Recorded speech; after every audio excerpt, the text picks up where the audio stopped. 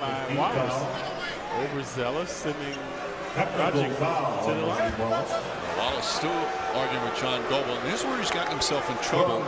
Once he gets a technical, he frequently, or certainly earlier in his career, would continue and get that second one. And then he loses focus and starts doing bad habits on the floor.